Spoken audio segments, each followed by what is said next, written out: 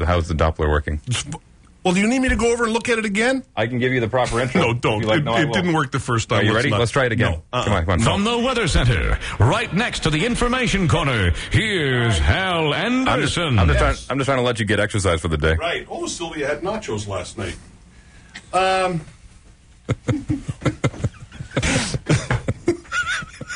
Go to commercial. No. Just no. I want it to end. I want it to end. Anyhow, we got some snow out there this morning. Oh, Happy April Fool's Day, Hal. Hi. Happy. Give me a hug. am I? uh Now, if I give you a hug, is Altona going to get snow or something? Or?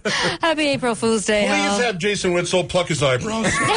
Sylvia, you control every. You run CKY. Can you please have something done about that man's eyebrows? Ladies and gentlemen, Sylvia Kuzyk from CTV Studio this morning. And she is wearing a hat. I'm wearing my my tam. Look at that. I can't believe you actually. this is hilarious.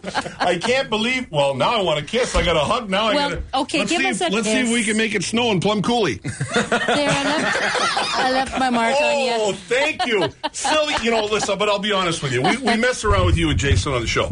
But you get more mileage on this show, and this is a very highly rated show, Sylvia. I have heard all about the You way get- you've been talking about me. All, You all get- last week, Sylvia. All last week. I, I had to come in out of self defense. My God. well, it wasn't No, that bad. listen, I'll tell you something. I, you know what? I, I watch CTV every night. And uh, it- it's it is my new show of choice, and you guys really truly do do a great job over there. You really do. Oh, shucks. and I and I enjoy watching it. But we, you know, on this show we have to try and make fun and poke fun, and you know. So now, uh, does this mean then that you're going to say hi to Wheeler and Hal on the radio? Hi on the- to on the Wheeler and Hal. I mean on TV. I mean on TV. No, on TV tonight. Officially. On Yes. the show? I Yeah. will indeed. Yes. Just say- perfect. Nice. Sylvia Kuzyk's the best. She's the best. Thank you. Best.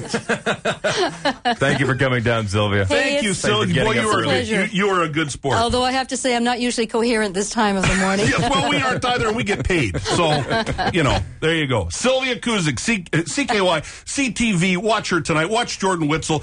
Watch Gord and uh, and Maralee and the whole gang on there. They do a great job. Were you surprised, Hal? I was very well. I'll be honest with you. It was like the and Matt, the boss, comes in with the camera. Yeah. and then Sylvia's in here, and I'm going.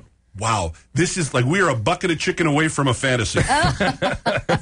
Well, it was funny because we had her we had her mic'd up in the back in the hallway, and when you made the nacho joke, I can hear her snickering. Oh, That's hilarious.